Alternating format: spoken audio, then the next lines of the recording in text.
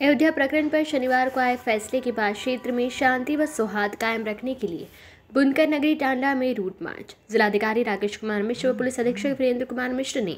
भारी पुलिस बल के साथ रूट मार्च कर लोगों को सुरक्षा का दिलाया भरोसा। बराबफात के मौके पर टांडा कस्बे में शांति व सौहार्द को बहाल रखने के उद्देश्य से गंगा जमुनी तहजीब की मिसाल पेश करने वाली बुनकर नगरी टांडा में मरकजी अंजुमन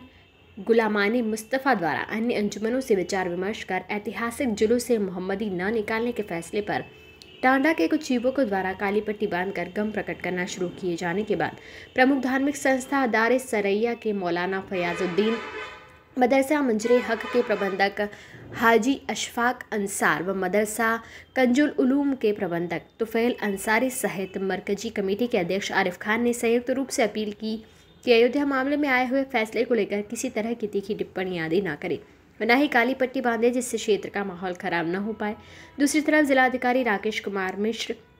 पुलिस अधीक्षक वीरेंद्र कुमार मिश्र अपर जिलाधिकारी Amarnath Rai, additional SP Avnish Kumar Mishra, SDM Mahendra Pal Singh, क्षेत्राधिकारी अमर बहादुर कोतवाल, संजय पांडे के साथ भारी पुलिस बल व सीआरपीएफ के जवानों ने क्षेत्र में फ्लैग मार्च निकालकर लोगों से शांति व सौहार्द बनाए रखने की अपील की, साथ ही सुरक्षा का भरोसा दिलाया। अंबेडकर नगर से ब्यूरो चीफ आशुतोष शर्मा की रिपोर्ट।